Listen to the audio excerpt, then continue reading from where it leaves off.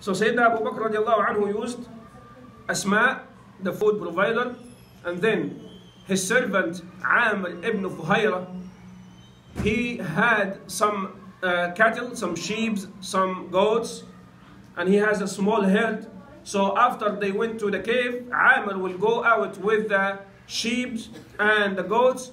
After the Prophet ﷺ and Abu Bakr footprints with the herds, so they can take the footprints away, so nobody will follow them because Arabs of that time they were very intelligent to know whose footprint is that and they can follow it miles and miles. So Abu Bakr thought, he said, uh, uh, Abdullah, uh, Amr ibn Fuhayra, his servant, come back after we leave, you go after us. And when Asma also comes with the food, go after her. So there is no footprints. They cannot know where we are. And then Abdullah ibn Abi Bakr, the son of Abu Bakr, Abdullah radiallahu anhu, was the, the, the newsman, the news person, the ones who goes and he lives with Meccans in the night time and by the, the, in the daytime and by the night time that he goes and he sneaks to the ghar, to the cave, to give the Prophet ﷺ and Abu Bakr what happened today, what was the news today. Did they give up on searching for the Prophet and Abu Bakr or not yet? And then he sallallahu alayhi as we know, Abu Bakr radiallahu anhu from the athar and from the hadith and from the history of Islam, before they go to the cave, Abu Bakr radiallahu anhu, it checks, checks the space and the cave if it has any snakes or it has any things. And then they stay there and Abu Bakr, although they did all these precautions, the kuffar, they reached to the opening of the cave. Why or how? As I said, they are very intelligent in footprints and following the, the footprints. Although Abu Bakr did all this, they were able to manage to go to the opening of the cave. At that time, Abu Bakr anhu was a little bit worried. And he told Sayyidina Muhammad sallallahu alayhi wa sallam, O Prophet of Allah, if some one of these people looks under his feet, literally he can see us. So the Prophet wa look at the yaqeen, the certainty of the Prophet wa. His iman is not like our iman. It's not like Abu Bakr's iman. It's a very deep rooted iman in this heart that it's never shaken by anything. Abu Bakr is just worried, oh Prophet of Allah, if they look, they can see us. So Abu Bakr radiallahu anhu is worried about himself? No He is worried about Sayyidina Muhammad sallallahu alayhi wasallam. As he said later, if I am killed, I am one man. But if Sayyidina Muhammad sallallahu alayhi wasallam is killed, all Islam and the da'wah is gone. So he was so much worried about the Prophet sallallahu alayhi wasallam. But the Prophet sallallahu alayhi wasallam has this peace that comes to him from Allah subhanahu wa ta'ala. And he tells him, Ya Abu Bakr, لا تحزن إن الله معنا. Abu Bakr, never grieve or be sad. Allah subhanahu wa ta'ala is with us. Ya Aba Bakr, ma dhannuka bithnayn Allahu thalithuhuma. Aba Bakr, what do you think of two? The third of them is Allah subhanahu wa ta'ala. So this brings tranquility and peace to Abu Bakr radiallahu anhu. And he radiallahu anhu becomes calm. And Allah subhanahu wa ta'ala pictures this in the Quran in many ayat when he subhanahu wa ta'ala says, إلا تنصروه فقد نصره الله if you don't want to make him victorious صلى الله عليه وسلم if you don't want to help him Allah wa ta'ala has already helped him إذ أخرجه الذين كفروا ثاني اثنين when the people who disbelieve they drive him outside of Mecca صلى الله عليه وسلم and he was the second of two ثاني اثنين him and Abu Bakr إذ هما في الغار they are in the cave إذ يقول لصاحبه لا تحزن إن الله معنا and he sallallahu alayhi wasallam is telling his companion, never grieve, never be sad. Allah subhanahu wa ta'ala is with us. فأنزل الله سكينته عليه وأيده بجنود لم تروها وجعل كلمة الذين كفروا السفلى وكلمة الله هي العليا والله عزيز حكيم. Allah subhanahu wa ta'ala has sent tranquility and peace on him and supported him with soldiers that you didn't see. And Allah subhanahu wa ta'ala has made his kalima, his statement is victorious and the statement of those who disbelieve it is not victorious, and Allah subhanahu wa ta'ala is the mighty and the most wise subhanahu wa ta'ala. So this is a, an ayah that gives us the idea what happened on, on the way that he sallallahu alaihi wasallam gets out with Abu Bakr radiallahu anhu. And then after three days, three nights in the Ghar, they are about to get out from the Ghar and then go to Medina. So, going to Medina is not an easy way. That's why Abu Bakr radiallahu anhu, he hired a very well uh, uh, acquainted man with the roads of the mountains that lead to Mecca or from Mecca to Medina. They know the traditional ways, but they hired this man just to take them from an untraditional way so the kuffar and the ones who look for them they may not find them then this was Abdullah ibn Urayqat so it was the Prophet sallallahu alaihi wasallam Abu Bakr as-Siddiq radiallahu anhu the guide Abdullah ibn Urayqat and the servant Amr ibn Fuhayra going with the sheep uh, after them these four yet they take all these precautions someone saw them in the desert. And all of the Quraysh and all tribes, they're trying to get them alive or dead. And Suraqa ibn Malik, one of the most strongest young men in Mecca, he is looking for the Prophet ﷺ and Abu Bakr. Someone saw them and he told Suraqa, you know what? I have seen a small group in that place and I think it is Muhammad and his companions. So Suraqa ibn Malik, radiallahu anh, he became a Sahabi after that. When he heard this from, the, from that man, he took his horse and he went, he knows that place very well, and he started going towards that place. Then Abu Bakr radiallahu anhu, on that way to Medina, he was also worried. Still, taking all these precautions, he was worried. Sometimes he walks next to the Prophet sallallahu alaihi wasallam on his right. Sometimes he walks on his left. Sometimes he walks behind him, sallallahu wasallam. Sometimes he walks in front of him.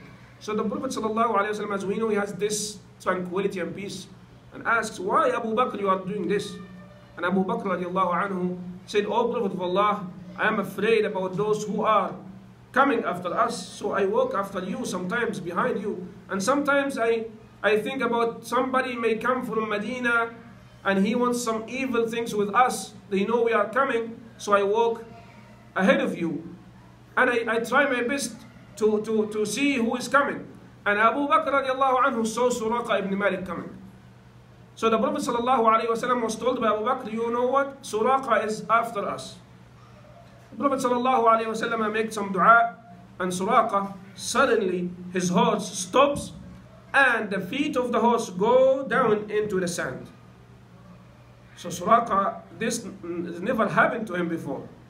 Then he went off his horse, he pulled the, the horse out, and then he, he goes again on the horse, and he hit the horse so hard, and the horse runs and then stops, and the feet goes into the sand again. So Suraqa was an intelligent person also. So he knew, he says, after he took Shahada and he became a Muslim, he said, I knew since that incident that this is a prophet and this is a, a messenger and uh, he has support from God, from Allah subhanahu wa ta'ala. Then he called the Prophet sallallahu alayhi wasallam and he said, Oh Muhammad, I am Suraqa ibn Malik. Can you uh, uh, write me something that if I go back and I don't tell on you, you will not go after me in the future? So Sayyidina Muhammad sallallahu alayhi wasallam write him a, a book and, and give, it to, give it to him that he will never go after him. And also he gave the, the pledge to the Prophet sallallahu alayhi wasallam. He is not he doesn't want to be a Muslim, but he told him, I will never tell anyone your place. And Suraqa, before he leaving the Prophet wasallam told him, You know what? You will wear the gold bracelets of Kisra, the, the Roman king. So Suraqa at that time, he took that statement from the Prophet wasallam. He didn't understand it, but this happened in the time of Umar ibn Khattab radiallahu anhu when he was a Khalifa, and they went there and they opened these uh, places. And Umar radiallahu anhu, when he saw Suraqa, he told him, come, and he gave him these gold bracelets of the king. And he said, the Prophet sallallahu alayhi wasallam told you that you will wear these, and these are for you now. So this is the prophecy of the Prophet sallallahu alayhi wasallam. So Suraqa now, he went back, not just this, he saw some people coming after to look for the Prophet sallallahu alayhi wasallam. He was taking them away from the road of the Prophet sallallahu alayhi wasallam. He tells them false information that he may be on that way, but he never told them that he went that way, sallallahu alayhi wasallam. So Anas ibn Malik radiallahu anhu tells us about this story, and he said, Subhanallah, Suraqa, in the beginning of the day, he was the most eager man in Mecca to find Muhammad and Abu Bakr alive or dead uh, to get the camels, or to kill them to get the camels. And by the end of the day, he is the one who doesn't want anyone to know about them most by the end of the same day. Subhanallah. Allah subhanahu wa ta'ala, as He told the Prophet sallallahu alayhi wa sallam, Wallahu ya'asimuka minan nas. Allah subhanahu wa ta'ala is protecting you from the people. That's it. We have the protection of Allah subhanahu wa ta'ala. Never get worried about anything else. So this is another situation on the way of Hijrah. Another situation before reaching Medina. The Prophet sallam passes by a place that has a tent they were very tired and hungry. He told Abu Bakr, let's see if somebody is here and they have some food to eat. They stayed there and they asked. It was a lady called Umm Mi'bad. Umm Mi'bad was a lady living in the desert with her husband and they have some sheep and some cattle. And the Prophet ﷺ asked for food. She said, we don't have anything. Nothing to eat, nothing to drink. The Prophet ﷺ spots a very weak sheep in the corner of the tent. And he wasallam said, get me that sheep. She said, this is very weak and sick sheep. She doesn't have anything. No meat, no milk, nothing. The Prophet wasallam gets the sheep and he wasallam puts his hand on the sheep and he makes some dua and he asks for a plate and they give him a, a good one and he sallallahu alayhi wasallam starts milking the sheep and the, and the milk comes down. And he sallallahu alayhi wasallam lets everybody drink and he drinks and he milks the sheep again and he leaves the milk in the tent for the lady and he leaves sallallahu alayhi wasallam with Abu Bakr to Medina. This is another miracle, another way of supporting the Prophet sallallahu alayhi wasallam on his way to Medina sallallahu alayhi wasallam and Sayyidina Abu Bakr radiallahu. And, and we will see in the future many of these miracles happen to the Prophet ﷺ. It doesn't mean that you are in a desert, that you will never find something to be able to eat or to drink. As long as you believe in Allah subhanahu wa ta'ala, you take the means, Allah subhanahu wa ta'ala will send you something to eat and to drink. The Prophet ﷺ, as we say, could have asked Allah for something, it will come down, it will come. As Sayyidina Isa radiallahu anhu sallallahu alayhi wasallam also, he asked Allah for the ma'idah, at the table, for his people who asked for it, and it came from the heavens. He sallallahu alayhi wasallam is the best of the creation. He can ask and it comes down, but he takes the means. And he teaches Abu Bakr and the Sahaba, ah, when you are on a way and you starving, you try to take the means. Ask people, go and do this and do that. And he sallallahu alayhi wasallam was doing this. And Allah subhanahu wa ta'ala also uh, reminds us when these disbelievers come together to kill him sallallahu alayhi wasallam, Allah subhanahu wa ta'ala plans and they, they are also planning and always the planning of Allah subhanahu wa ta'ala overcomes any other planning. When Allah subhanahu wa ta'ala says, وَإِذْ يَمْكُرُ بِكَ الَّذِينَ كَفَرُوا لِيُثْبِتُوكَ أَوْ يُخْرِجُوكَ أَوْ يَقْتُلُوكَ وَيَمْكُرُونَ وَيَمْكُرُ اللَّهُ وَاللَّهُ خَيْرُ الْمَاكِرِينَ Those who disbelieve, they plan against you, Muhammad, to kill you or to get you as a hostage or to drive you out of Mecca. They plan and Allah plans and Allah subhanahu wa ta'ala is the best among those who plan subhanahu wa ta'ala. And then the Prophet sallallahu alayhi Wasallam started going into the boundaries of Medina, Yathrib, and the first place he went to sallallahu alayhi Wasallam, was uh, Banu Amr ibn Auf, which is Quba as it's known nowadays and he sallallahu alayhi wasallam started the first masjid in the Islamic history, which is Masjid Quba. Before the Prophet sallallahu alayhi wasallam reaches Medina, he was in Quba. He, Quba is in Medina, but it is not the place that the Prophet sallallahu alayhi wasallam stayed at forever because he sallallahu alayhi wasallam stayed there in this place for 14 nights, two weeks. Once they went into Medina, the place of Quba, the Banu Amr ibn Auf, they are relatives to the Prophet ﷺ. They hosted the Prophet for two weeks, 14 days. During these 14 days, he ﷺ established Masjid Quba. And Masjid Quba is the first masjid in the Islamic history. At that time was only Al Masjid Al Haram, Al Masjid Al Aqsa, and the third was Masjid Quba. Just Al Masjid Al Haram was the first masjid to be built. As we know, who built the Masjid Al Haram is Allah subhanahu wa ta'ala by sending the angels even before Adam alayhi salam. And then Masjid, uh, uh, the masjid that was in Palestine, Masjid al-Aqsa, was coming next.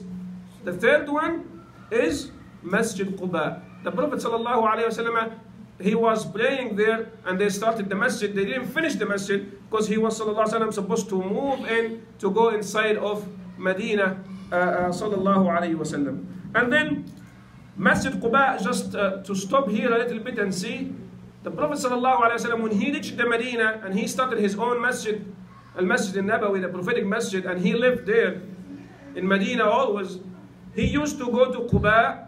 Some people and some Sahaba say every Saturday, sometimes walking, sometimes riding, and he prays in that masjid, Masjid Quba.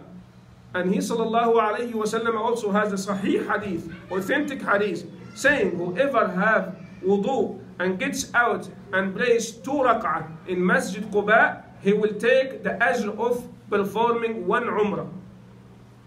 Whoever prays two rak'ah in Masjid Quba, he takes the reward of performing one umrah. That's why many people, when they go to visit the Medina in umrah and hajj, they try to pray as many rak'ahs as they could because the reward will be each two rak'ah will be the reward of one umrah. And the Prophet used to go to that masjid every week or every two weeks, walking or riding. And this was the first masjid that he wasallam established in Islam. And then later he wasallam moves on and he goes until the, the, the camel, his camel stops in a place and, and every tribe, every family in Medina, they wanted to host him, sallallahu wasallam, and they took the reins of the, the camel, they want to take it to their house and to host the Prophet sallallahu wasallam, but the Prophet sallallahu wasallam told them, leave it or leave her, she is commanded. Whenever she sits, we will stay. And the camel sits in front of the house of Abu Ayyub al-Ansari radiallahu anhu, and the Prophet sallallahu alayhi wasallam stays with Abu Ayyub. Abu Ayyub was a relative to the Prophet sallallahu alayhi wasallam from his mother's side, and he commands the Sahaba to start building first to buy that place, that spot that the, the camel, the she camel was sitting in. He was told that this is for two young orphans. We can get from them for no money. He wasallam insisted, no. And the young orphans, they came to the Prophet and they offered him the place for free. He said, no, we have to buy it. And he wasallam bought it and paid the money. And he commanded the Sahaba to start building the masjid, al-Masjid al-Nabawi, which is there nowadays. And it was expanded many times, but in the same place in Medina, the prophetic masjid, the masjid of the Prophet sallallahu alayhi wasallam. So the Prophet sallallahu alayhi wasallam, the first thing he does, the masjid. Even before he stays in inside of Medina in Quba, started the masjid in Quba, and then he started another masjid, the Masjid in Nabawi, when once he stayed uh, with Abu Ayyub al Ansari radiallahu anhu. And also, uh, as we know, not just the Prophet sallallahu alaihi wasallam who was welcomed by the Madani Muslims. The Ansar, the supporters, they welcomed all the Sahaba who come with the Prophet sallallahu alaihi wasallam, and Allah has revealed ayat in these people's generosity when He subhanahu wa ta'ala says, وَالَّذِينَ تَبَوَّأُوا الدَّارَ وَالْإِيمَانَ مِنْ قَبْلِهِمْ يحبون من هاجر إليهم ولا يجدون في صدورهم حاجة مما أوتوا ويؤثرون على أنفسهم ولو كان بهم خصاصة ومن يوق شح نفسه فأولئك هم المفلحون subhanahu wa ta'ala is mentioning the characteristics of the people of Medina, saying those who are in the Medina and the houses before the Meccans come, they love those who are coming to them from Mecca and they share everything with them and they prefer their brothers and sisters who come from Mecca to themselves. And we have seen many stories and many uh, uh, good situations when the Sahaba alayhim in Medina they try to share their wealth with their brothers and sisters coming from Mecca. And even some of them told them you always share everything even our wives. We can give you some. We can divorce some of our wives and you take them as, as your wives so it was a very good example of sharing and preferring the Sahaba alayhim who come from Mecca to Medina and the Prophet ﷺ reached that place and he started, the first thing was the masjid. He ﷺ did not let just the Sahaba build the masjid, he was one of the builders of the masjid ﷺ. And when he ﷺ told them start from here, they started getting the bricks and to, to put the, the, the basis of the masjid, he sallallahu alayhi wasallam went out and he started building with them. So the Sahaba eh, from Mecca and Medina sides, they say, Oh Prophet of Allah, you are a prophet, you shouldn't do this. He sallallahu alayhi wasallam said, No, I have to do this and the Sahaba started to chant some poetry saying Allahumma la khayra illa khayra al-akhirah fansur al-ansara wal-muhajira. There is no benefit except the benefits of akhirah. O oh Allah make the muhajirin and the ansar victorious. And also when they see the Prophet sallallahu alayhi wasallam lifting the rocks and building the masjid himself sallallahu alayhi wasallam some of them told themselves لئن جلسنا والرسول يعمل إن هذا لهو العمل المضلل If we sit down and leave the Prophet صلى الله عليه وسلم working, this is a bad thing in our case. We have to help him صلى الله عليه وسلم. And the Prophet صلى الله عليه وسلم started the masjid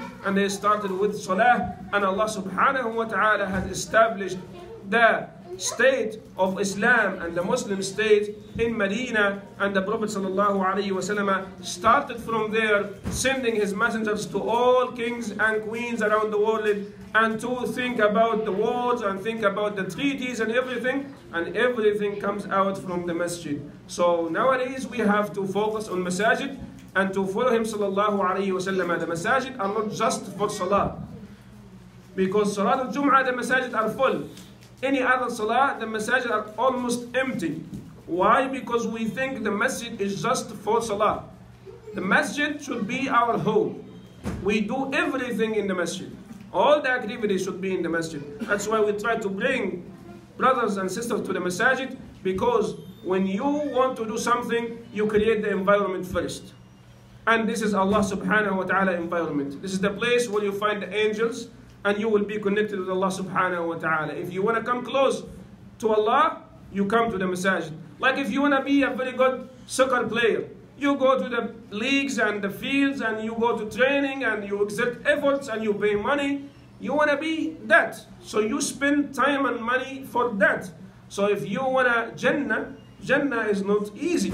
As the Prophet ﷺ told us, the, the, the commodity of Allah subhanahu wa ta'ala is so expensive the commodity of Allah subhanahu wa ta'ala is Jannah. So we have to pay for that. And paying is not something that we cannot afford. We can afford by coming to the masjid, by connecting with Allah subhanahu wa ta'ala, starting from the masjid, establishing our salah, establishing our adhkar, establishing the relationships between the families, counseling, everything that comes from the masjid will be blessed and will be directed by Allah subhanahu wa ta'ala. We ask Allah subhanahu wa ta'ala to inspire us from the hijrah of Nabi sallallahu alayhi wa sallam and help us inshallah to protect ourselves from any harm or any evil. We ask Him subhanahu wa ta'ala to perfect our manners, our characteristics. We ask Him subhanahu wa ta'ala to help us to be followers of Sayyidina Muhammad sallallahu alayhi wa sallam. اللهم اغفر لنا ما قدمنا وما أخرنا وما أسررنا وما أعلنا وما أنت أعلم به منا أنت المقدم وأنت المؤخر وأنت على كل شيء قدير وصلى اللهم على سيدنا محمد النبي الأمي وعلى آله وصحبه وسلم وجزاكم الله خيرا.